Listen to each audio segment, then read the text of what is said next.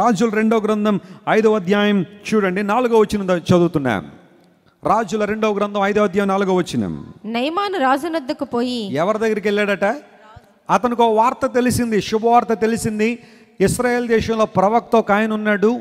ఆయన ప్రార్థన చేస్తే అద్భుతాలు జరుగుతున్నాయి. ఆయన దీర్ఘదర్శి.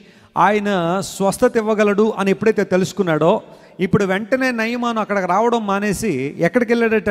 రాజు నొద్దకు వెళ్ళి ఇస్రాయేలు దేశపు చిన్నది చెప్పిన మాటలను అతనికి తెలియజేయగా తెలియజేశాడు. సిరియా రాజు ఇప్పుడు సిరియా రాజు ఏం చేస్తున్నాడు అంటే నేను ఇస్రాయేలు రాజునకు దూత చేత పత్రిక పంపించదనని ఆజ్ఞ ఇచ్చాను గనుక ఇచ్చిన గనుక అతడు ఇరువది మణుగుల వెండియు ఇరవై మణుగుల వెండి. మణుగంటే సరాసరి దగ్గర దగ్గరగా యాభై కేజీలు. ముప్పై నుండి యాభై కేజీలు మణుగంటే ఇప్పుడు ఎన్ని మణుగులట వెండి? ఇరువది మణుగుల వెండి. ఇరవై మణుగుల వెండి అంటే సుమారుగా వెయ్యి కేజీలు వెండి. లక్షా ఇరవై వేల రూపాయల బంగారమును. అబ్బో లక్ష ఇరవై వేల రూపాయలు విలువ చేసే బంగారం. ఇమాజిన్ ఇది కొన్ని వేల సంవత్సరాల క్రితం జరుగుతున్న సంఘటన క్రీస్తు పూర్వానికి లక్ష ఇరవై వేల రూపాయల విలువ కలిగిన బంగారం తీసుకున్నాడట. పది దుస్తుల బట్టలను తీసుకొని పోయి మామూలు బట్టలు కాదది పది బట్ట పది దుస్తుల బట్టలు అంటే ఇప్పుడు మన ఇంట్లో వేసుకున్న బట్టలు కాదు. రాజుగారి స్థాయికి సంబంధించిన రాజ వస్త్రాలు చాలా విలువైన వస్త్రాలు పది తీసుకుని పోయి ఇస్రాయేలు రాజునకు పత్రికను అప్పగించెను. నిన్ను వెళ్ళమంది ఎక్కడికి నువ్వు వెళ్తుంది ఎక్కడికి? ప్రశ్న ఇది. చెప్పండి చిన్నది ఎక్కడికి వెళ్ళమంది? ఆ ఇంట్లో ఉన్న అమ్మాయి ఎక్కడికి వెళ్ళమంది? వెళ్ళే ఆ ప్రవక్త దగ్గరికి వెళ్ళు. ఎలీషా అనే ప్రవక్త ఇస్రాయల్ దేశంలో ఉంటాడు. ఆయనకి అపాయింట్మెంట్లు లేవు. అపాయింట్మెంట్ తీసుకోవాల్సిన అవసరం లే ఆయన. హీజ్ అవైలబిలిటీ ఎనీబడి ఆయన ఎవరికైనా ఎలా ఉన్నాడు ఆయన? అందుబాటులోనే ఉన్నాడు. కొంతమంది ఈ రోజుల్లో అపాయింట్మెంట్కి పదివేలట అపాయింట్మెంట్కి ఐదు వేలట ఫోన్ చేయండి అపాయింట్మెంట్ తీసుకోండి ఐదు వేలు కట్టండి అప్పుడు పాస్టర్ గారితో మాట్లాడొచ్చని. ఒకవేళ వాళ్ళకి ఏదో బిజీగా ఉండో లేకపోతే పరిచర్యలో బిజీగా ఉండో అపాయింట్మెంట్ తీసుకుని వెళ్ళండి మంటలో అంటలో పొరపాటు లేదు కానీ appointment available for five thousand rupees ten thousand rupees అంటే అది వాక్యానుసారమైన పద్ధతి కానే కాదు. ఇలాషియా was available at any time ప్రతి సమయంలో కూడా దావిచనుడు అందుబాటులో ఉన్నాడు. నువ్వు వెళ్ళంటే ఇప్పుడు నయమాను తన సొంత జ్ఞానాన్ని ఉపయోగిస్తున్నాడు. తన సొంత శక్తిని ఉపయోగిస్తున్నాడు. తన సొంత అభిప్రాయాలు వినియోగిస్తూ ఉన్నాడు. రాజుగారి దగ్గర లెక్క రికమెండేషన్ లెటర్ తీసుకున్నాడు. ఆ తర్వాత వస్తువులు ధనము ధాన్యాలు ఇవన్నీ కూడా పట్టుకొని ఎవరికి ఉత్తరం పంపించాడట? ఇస్రాయేల్ రాజుకి ఉత్తరాన్ని పంపించాడు. కొన్నిసార్లు దేవుని నుండి మేలు పొందుకోవాలనుకుంటున్నాం మనము లేదా దేవుని నుండి ఆశీర్వాదం పొందుకోవాలని మనం కూడా ఇలాగే ప్రవర్తిస్తూ ఉంటాం.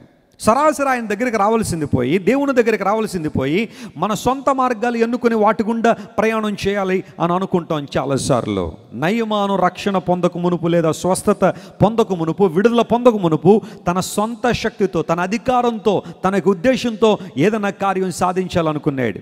అంటే అతను ఏం ఎక్స్పెక్ట్ చేశాడంటే నేను సైన్యాధిపతిని కదా ఆ రేంజ్ మెయింటైన్ చేద్దాం అని చెప్పి రాజుగారి దగ్గరికి వెళ్ళగానే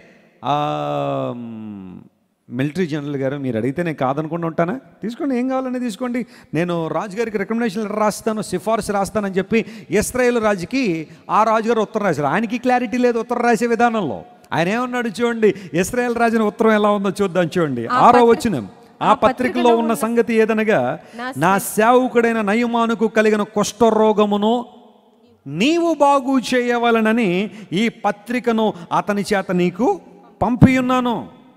ఎవరు బాగు చేయాలట? చిన్నది చెప్పిందేంటి? ఆ అమ్మాయి చెప్పిందేంటి? షోమ్రోన్లో ప్రవక్త ఉన్నాడు ఆయన కార్యం జరిగిస్తాడంటే ఈ రాజుగారు ఇస్రాయేల్ రాజుకు ఉత్తరం రాసి మా వాడిని పంపిస్తున్నాను నువ్వేదో విధంగా బాగు చేయాలన్నాడు. ఇప్పుడు ఆ వార్త ఇస్రాయేల్ రాజుకి టెన్షన్ పుట్టించింది కలవరాన్ని పుట్టించింది. అంటున్నాడు చూసారా చూసారా ఈ సిరియా రాజుని ఆమె దెబ్బలాటకు రావడానికి ఎలా కారణాలు ఎదుర్కొంటున్నాడో ఈ సిరియా రాజుని ఆమె దెబ్బలాట్లాడడానికి ఎలా కారణం ఎత్తుకున్నాడో చూసారా అని ఆయన బట్టలు చింపేసుకున్నాడట ఆయన. ఎందుకోసం? ఈ కుష్ఠరోగుని స్వస్థపరచడానికి నేనేమన్నా?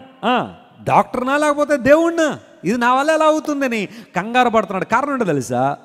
రైట్ పర్సన్ దగ్గరికి రాకుండా రకరకాల అడ్డదోరలు దక్కడం ద్వారా మనిషి జీవితంలో కన్ఫ్యూజన్ లేదా మనిషి జీవితంలో రకరకాలైన అభిప్రాయాలు డెవలప్ అవడం ద్వారా వారు నిరాశపడడం ఎదుటి వ్యక్తులు కూడా నిరాశపరచడం అనేది మనం చూస్తున్నాం. నయమాను తన సొంత జ్ఞానాన్ని తన సొంత అధికారాన్ని తన సొంత శక్తిని వినియోగించాలని అనుకున్నాడు. చూడండి ప్రియులారు చాలాసార్లు దేవుని దగ్గర నుండి మనం అద్భుతాలను ఆశించేటప్పుడు మన సొంత జ్ఞానాన్ని ప్రక్కన పెట్టాలి. దేవుని స్తోత్రం చెప్పండి హల్లెలూయా. మన సొంత ఎబిలిటీ మన కెపాసిటీ వీటిని ప్రక్కన పెట్టి సంపూర్ణంగా ఎవరి మీద అనుకోవాలి మనం? దేవుని మీద అనుకోవాలి ఫర్ ఎగ్జాంపుల్ ఒక వ్యక్తి ఆపరేషన్ టేబుల్ మీద ఉన్నాడు అనుకోండి డాక్టర్ గారు ఆపరేషన్ చేస్తూ ఉన్నారు సర్జన్ గారు ఆపరేషన్ చేయడానికి సిద్ధపడ్డారు ఒకళ్ళు కాదు ఇద్దరు ముగ్గురు చేస్తూ ఉంటే మనం టేబుల్ మీద పడుకుని డాక్టర్ గారు ఇప్పుడు నా పొట్ట మీద కరెక్ట్గా ఫార్టీ ఫైవ్ డిగ్రీస్ యాంగిల్లో రెండు అంగుళాలు కట్ చేయండి అన్నాం అనుకోండి ఆయన ఏమంటాడు? అమ్మ అక్కడ ఎందుకమ్మా ఇక్కడ కట్ చేస్తానమ్మా ఇంకా మొత్తం నీకు బాధ ఉండదు మాకు బాధ ఉండదు అంటాడు ఆయన అంతేనా? డాక్టర్ గారికి ఆపరేషన్ చేయడం నువ్వు చెప్తావా? ఆయనకు తెలుసు కదా ఎలా చేయాలో నువ్వు చేయాల్సిన పని ఏంటి అమ్మమ్మమ్మ డాక్టర్ గారు అక్కడ కట్ చేసేస్తున్నారు ఏంటండి? మరి అక్కడే కట్ చేయాలమ్మా. నీకున్న వ్యాధి అక్కడ ఉంది కదా మరి తప్పదు ఇంకా. అక్కడ వద్దండి అన్నాం అనుకోండి. ఆపరేషన్ అయితే నువ్వు ఇంటికెళ్ళి చేసుకో అమ్మా అంటాడు ఆయన. డాక్టర్ గారు ఆపరేషన్ చేసేటప్పుడు మనం ఎంత చక్కగా సహకరిస్తే కోఆపరేట్ చేస్తే ఆ ఆపరేషన్ టేబుల్ మీద మనం చక్కగా పడుకున్నాం అందరు బట్టే కొన్నిసార్లు కొంతమందికి లోకల్ ఎనెస్టీషియా ఇస్తారు. వాళ్ళ పరిస్థితి బాగా బాగా కంగారు కంగారు కంగారుగా ఉన్నారనుకోండి మొత్తం ఎనెస్టీషియా ఇచ్చి పడుకోబెడతారు వాళ్ళని. ఎందుకోసం అంటే వీళ్ళకి ఆ మొత్తం మంది ఇవ్వకపోతే మళ్ళీ ఆపరేషన్ చేసేలాగా కనబట్టలేదు అందరు బట్టి పడుకోబెట్టండి రా మొత్తం అని చెప్పి అనెస్థీషియా జనరల్ అనెస్థీషియా ఇచ్చి అప్పుడు ఆపరేషన్ చేస్తారు. సొంత మార్గములు సొంత అనుభవాలు సొంత తలంపులు సొంత జ్ఞానము ప్రక్కన దేవుని దగ్గరికి వచ్చిన తర్వాత. No matter how big you are no matter how intellectual you are no matter how how great knowledge and wisdom that you have possessed నువ్వు ఎంత జ్ఞానాన్ని సంపాదించినా ఎంత పరపతి నీకున్నా ఎంత అధికారం ఉన్నా దేవుని మేలు పొందుకోవడానికి అవి ఉపయోగపడవు. నమ్మిన వారు దేవుని స్తోత్రం చెప్పండి. Hello you need to depend on God's grace దేవుని మాట మీద ఆయన కృప మీద నువ్వు ఆధారపడాలి తప్ప నీ సొంత జ్ఞానము తెలివి కొన్నిసార్లు పనిచేసేది కాదు. కొంతమందికి ఏదైనా సమస్య రాగానే మాకు వాళ్ళు ఉన్నారండి వీళ్ళు ఉన్నారండి వాళ్ళు చేసి పెడతారండి వాళ్ళు చూసి పెడతారని అనుకుంటారు కానీ ఆఖరికి చేసేదేమీ ఇలా. Too many cooks spoil the food అని వంట వాళ్ళు బాగా ఎక్కువ మంది అయిపోయారు అనుకోండి వంట అంతా ఏమైపోద్దట? పెంట అయిపోద్ది. అది వంట వంటలాగా ఉండదు. ఎందుకోసమంటే ఒక్కొక్కడో ఒక్కొక్కడు రావడం ఆడు ఉప్పేయలేదేమని వీడు ఉప్పేసేయడం ఇతను ఉప్పేయలేదని ఆమె వచ్చి ఉప్పేసేయడం ఆఖరికి ఆమె వచ్చి ఏ ఉప్పేరా మీరు అని చెప్పి అప్పటికే నాలుగైదు సార్లు ఉప్పేసింది. మళ్ళీ ఆమె వెళ్ళి ఇంకొంచెం చేసేయడం ఆఖరికి ఆ భోజనాలు తిన్న వాళ్ళందరూ వాంతులు చేసుకుని వెళ్ళిపోతా వెళ్ళిపోతూ ఉంటారు. ఏంటంటే ఎక్కువ మంది అయిపోయారు వంటగాళ్ళు. ఒక డైరెక్షన్లో వెళ్ళాలి ఒక ఉద్దేశంలో వెళ్ళాలి వంట జరిగేటప్పుడు. అంతేగాని అందరూ ఇంకా నువ్వు ఒక ఐదు నిమిషాలు నువ్వు చేయి ఐదు నిమిషాలు ఏం చేస్తానని చెప్పి నలుగురు ఐదుగురు ఐదు ఐదు నిమిషాలు వంట చేశారనుకోండి ఆ కూర తినండి ఎలా ఉంటుంది ఈసారి? నీ సొంత జ్ఞానం ఆలోచన నీ డబ్బు దేవుని దగ్గర పనిచేయదు. స్వస్థత పొందుకోవడానికి మణుగులు వెండి అనుకున్నాడు. లేకపోతే లక్ష ఇరవై వేల రూపాయలు విలువ చేసే బంగారం అనుకున్నాడు.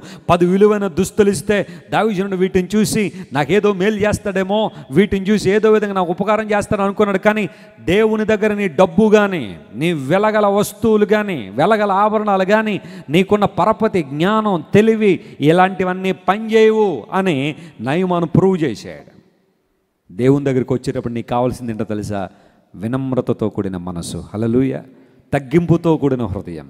ఆయన మీద ఆధారపడగలిగే మనసు ఒక చంటి బిడ్డ తన తల్లి మీద ఎలా ఆధారపడుతుందో ఒక చంటి బిడ్డ తన తండ్రిని పరిపూర్ణంగా ఎలా నమ్ముతాడో మనం కూడా దేవుణ్ణి అదే విశ్వాసంతో అదే నమ్మికతో అప్రోచ్ అవ్వాలి. దేవుని దగ్గరికి వచ్చేటప్పుడు మనం రావాల్సింది మన యొక్క హృదయాన్ని ఖాళీ చేసుకుని ప్రభు నన్ను నింపండి నాయన. నా జీవితంలో ఒక మేలు చేయండి ఒక అద్భుతం చేయండి ప్రభు అని మళ్ళీ మనం తగ్గించుకుని దేవుని సొంత ప్రార్థన చేసినప్పుడు ప్రభు మన ప్రార్థన వింటాడు.